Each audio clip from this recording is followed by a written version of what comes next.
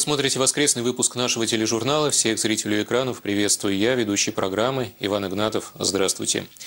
14 октября Православная Церковь отмечала покров Пресвятой Богородицы. В самом воспоминании праздника для нас, русских людей, заложен глубокий смысл. Предание говорит о том, что именно славяне, наши предки, не крещенные еще тогда в православии, хотели взять Константинополь, и что Божья Матерь простерла свой покров над городом, где жили христиане, а русские ладьи были потоплены внезапной бурей.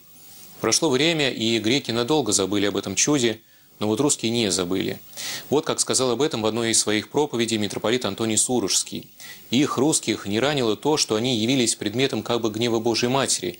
Они изумились пред той любовью, пред той защитой, которую Божья Матерь простерла над теми, кто любил ее Сына.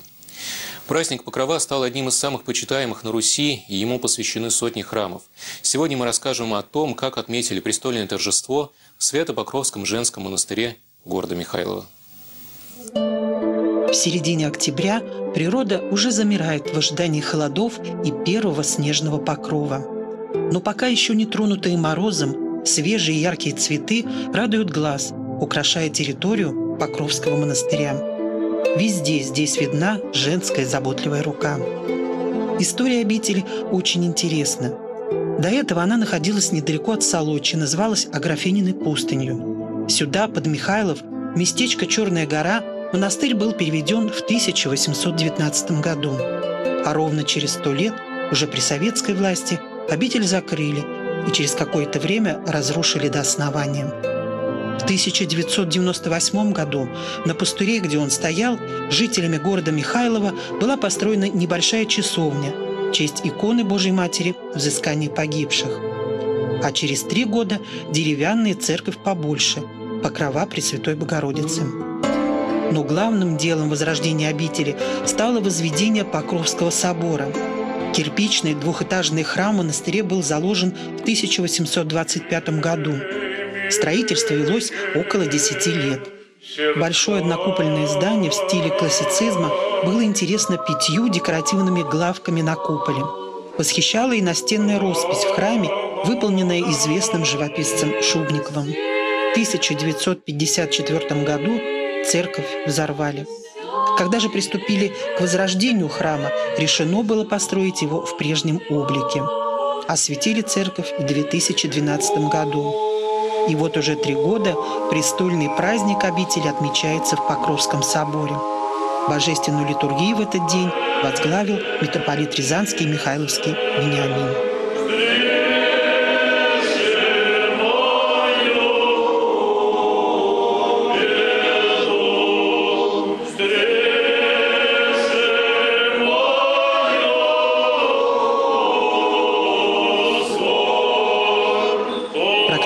Все сегодня знают историю праздника Покрова Божией Матери.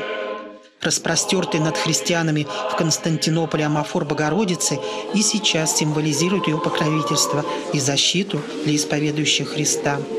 Наш народ всегда считал, что русская земля находится под покровом Божьей Матери. Сколько людей приходило к образу Пречистой Владычицы, образам ее, просили, молили помощи просили покрова и защиты. И сегодня мы с вами молились, чтобы Господь услышал наши молитвы, особенно в день престольного праздника, когда мы все празднуем престольный праздник этой святой обители, которая поднимается на дрожжах, как бы э, постоянно изменение, постоянно здесь чувствуется забота и любовь к Богу. Души поздравляем вас с праздником, с этим великим праздником, и желаем, чтобы Матерь Божия всегда своим покровом охраняла вас и помогала во, всех жизненных трудностях, вот, и защищала от бед и скорбей. Владыка, на молитвенную память примите вот этот святой образ.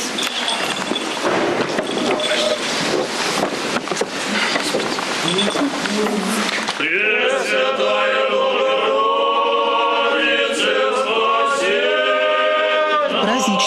Праздничный для обители день Владыка вручил юбилейную патриаршую медаль игумени Сергии Масляевой за труды восстановления монастыря.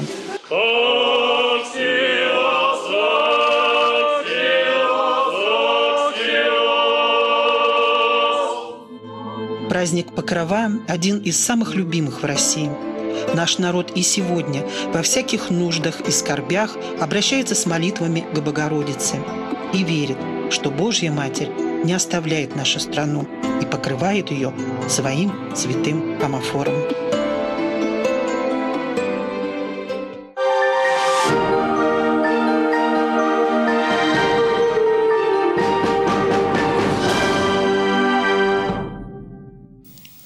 Сейчас настало время нашей постоянной рубрики «Мир и клир». Передаю слово ее ведущей Дарье Трофимовой и протерею Георгию Чернышову.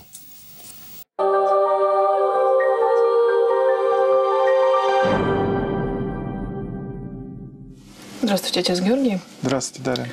Отец Георгий, вот сегодня даже не тема, наверное, а такой вопрос хотелось бы мне, наверное, поднять, а, потому что очень много об этом говорят, и а, вот в чем он заключается. Очень многие люди, когда приходят в храм, так сказать, любят подпеть хор. Угу. Некоторые как бы очень делают это активно в голос, некоторые наоборот. В разных храмах, я так понимаю, тоже, наверное, раз, разные как бы традиции. Это в некоторых тишина, в некоторых там кто как может, тот так и, так сказать, под, поддерживает хор. Угу. Вот э, на ваш взгляд, все-таки имеет это место быть, или это все-таки, э, так сказать, ситуации, которые не должно быть в храме? Дарья, а можно я сейчас немножко так это стрелки переведу на вас? Вы же у нас руководите хором ну, да. вот, в кафедральном соборе города Рязани. И э, вы-то, наверное, слышите эти подпевания, да? Ну, знаете, у нас в Борисоглебском соборе есть одна такая бабульчика, которая знает все песнопения. Угу. Даже те, которые она слышит, может быть, даже в первый раз, она знает все. И стихиры, которые каждый раз меняются, и постоянные песнопения, которые звучат. И ее голос слышен из самого конца собора. То есть она где-то в притворе стоит и подпевает. Mm-hmm. Мы, конечно, к этому уже привыкли, но хор неспроста сейчас такая отдельная единица в храме, mm-hmm. которая, которому поручено а, исполнять вот эти богослужебные песнопения. Вот как бы, наверное, поддержу вас в этом смысле. Почему? Потому что ну, приходится бывать где-то тоже в других храмах. Да?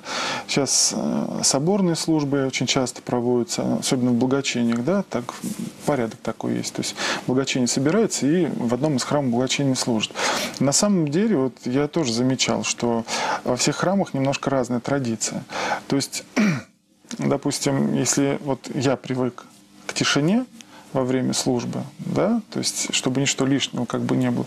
Мне очень тяжело даже сосредоточиться в таком храме на молитве, потому что хор поет, хор поет стройно, чинно, и где-то начинаются вот эти вот подпевания, которые, во-первых, хор сбивают, и, ну, даже меня вот сбивают. Ну, вот, поэтому как бы, ну, понятно, что во всех храмах своя традиция, но для меня, конечно, ближе, когда в храме каждый э, на своем месте занимается тем, чем он должен заниматься. Ведь на самом деле, вот смотрите, очень такой простой пример, да, вот Троица, мы говорим. Вот храм – это тоже такая же структура, где Троица обязательно. То есть священник в алтаре, клирос, который поет, и прихожане, которые стоят в храме. Вот Троица, единосущная, животворящая, нераздельная. То есть, вот как я это понимаю, может быть, немножко сакрально, не знаю как, вот когда батюшка в алтаре молится, и ему ничто не мешает молиться, вот кто ему помогает молиться? Ведь правильно стройное пение хора, оно действительно настраивает на молитву не только священника, но и прихожан. Вот я помню, я пришел с одним событием в храм, то есть мне нужно было вот, ну, действительно сосредоточиться на молитве, и э, это было серьезное событие, вот когда действительно от меня требовалось полное сосредоточение ума, сердца, души. Я вот попытался молиться. И вот только, как мне кажется, я отвлекался от всех житейских своих дел, да, только, как мне кажется, я входил в унисон вот с этим прекрасным пением, да, тут прям кто-то за спиной начинал петь совсем не на той ноте, на которую нужно. И я нехотя тут же сразу терялся и отвлекался на этого человека. Поэтому ну, правильнее было бы все-таки соблюдать те традиции, которые есть в храме. То есть здесь вот нужно понимать, что ну, не нужно мешать служить людям. Даже если у вас прекрасный голос, если вы даже в каком-то храме поете на клирусе, но, на мой взгляд, все-таки хор он вместе стоит, по голосам уже распределились, да, уже каждый поет ту партию, которую должен петь, и вдруг запел кто-то в середине храма, да, все равно уже на вас будут отвлекаться. Поэтому, на мой взгляд, все-таки правильнее было бы во время службы молиться. То есть смысл, основной смысл богослужения все-таки это богослужение. А Богу служить молитвой, вот это очень важно. Ну, можно, конечно, прийти, попеть, но будет ли это молитва? И не помешаю ли я своим мнением рядом стоящему человеку? Ведь мы же не знаем, кто с чем приходит вообще. Ведь люди приходят, болезнь ребенка, там нужно за мужа помолиться, там на войну в командировку улетел. Сама никак свою жизнь не могу вот устроить или сам. То есть человеку хочется сосредоточиться на молитве. Причем люди, когда начинают понимать литургию, тоже очень интересный момент. То есть можно зайти в храм и увидеть, понимают ли литургию в храме или нет, работает ли настоятель над этим. Вот как трудится хор, настоятель, да, и сами прихожане. Вот когда люди понимают литургию, вот обратите внимание, вот я на это внимание обращал, в храме нету хождений, то есть в храме во время службы не ставят даже свечи. И тот человек, который приходит впервые в этот храм, он не ходит по храму, потому что он видит, что все стоят, все молятся, все сосредоточены, очень многие с закрытыми глазами. Как правило, в таких храмах даже мужчины не стесняются вставать на колени, потому что есть вот такая некая единодушие, то есть вот такая вот некая троица. То есть каждый на своем месте делает то, что должен делать. Потом, вот хор тоже должен понимать, что он обеспечивает ну, моление в храме правильно. То есть если мы поем аккуратно, если мы поем красиво, если мы поем, что, как говорится, не борзя, то есть если нет разговоров на клиросе, что тоже очень часто встречается, когда между собой начинают разговаривать, и прихожане на это все смотрят, то есть такие какие-то некие, некие негативные. Смотрите, что делает хор. Хор помогает людям молиться, сосредотачиваться. Если священник не отвлекается ни на что, если священник углублен в молитву, а у батюшки, поверьте, в алтаре во время литургии это очень напряженное состояние. То есть если служить правильно, это очень напряженное состояние. Батюшка молится за себя, батюшка молится и за людей. Батюшка представляет себе вообще вот э, возле чего он стоит и возле кого он стоит, и что сейчас здесь на престоле произойдет. То есть, естественно, когда какие-то, прошу прощения, начинаются завывания, особенно во время херувинские песни, вот канона евхаристического, я думаю, что такие, конечно, ну, таких певцов нужно каким-то образом, с любовью, обязательно, с любовью, но как там объяснять, что вы, конечно, поете здорово, и мы вас взяли, наверное, даже к себе бы в хор. Ну, там пока места вот не хватает. И люди ни в коем случае не должны, наши прихожане, обижаться, когда им делают такие замечания. Не надо обижаться. Отец Георгий, но вы знаете, тоже ситуация такая, что ведь часто эти люди, так сказать, поют ну, от избытка сердца. То есть им очень хочется как-то вот помолиться именно вот так вот горячо. Им кажется, что они а, ну, вот так их молитва доходит.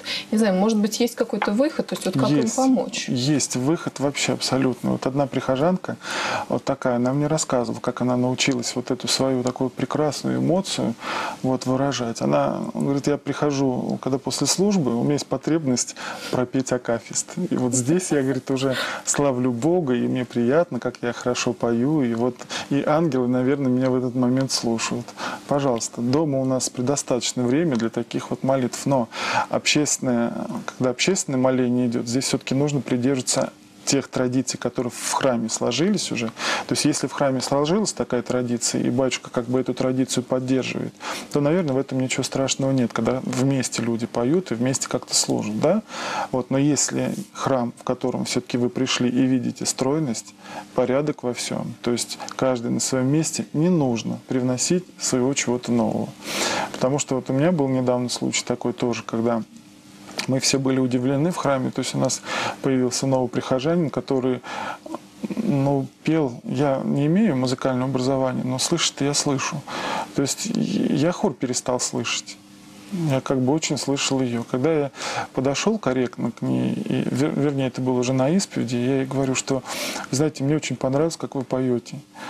Очень. вот если у нас э, кто-то из хора заболеет, или вообще не выйдет хор, мы вот, я бы к вам даже обратился, чтобы вы попели.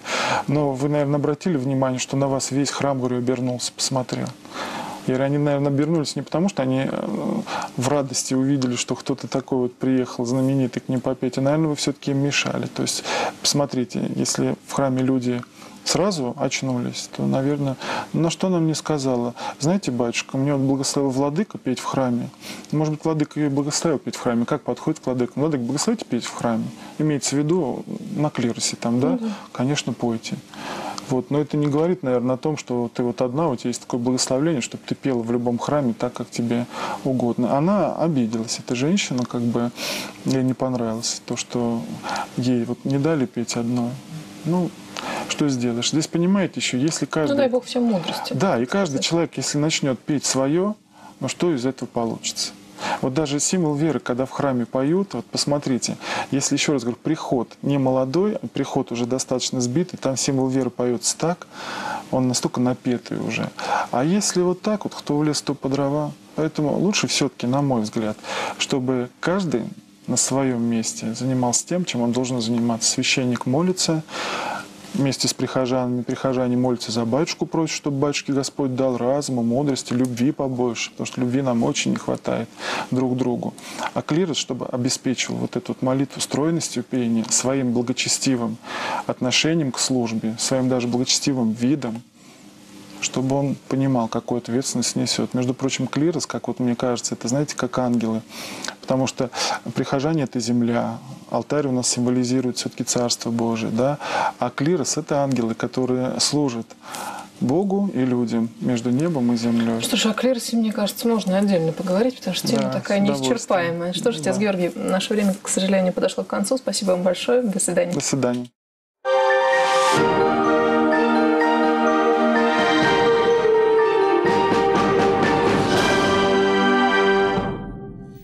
Ну, это все на сегодня. В студии был Иван Игнатов. Я прощаюсь с вами до следующей программы и желаю всего доброго. До свидания.